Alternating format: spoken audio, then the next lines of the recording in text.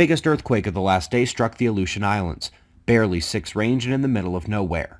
Top weather event on Earth right now is taking on the Philippines.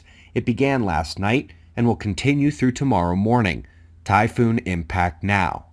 Meanwhile, Mongolia, Central Russia, and China are seeing their first snows of the season. They want the snowpack and are pleased. Meanwhile, here, almost three weeks shy of the start of winter, we're already way sick of the snow in the west. Some of the places breaking snow records are asinine.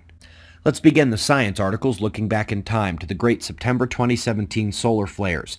Picking out the departing shot over the limb, they noticed a plasma sheet forming outward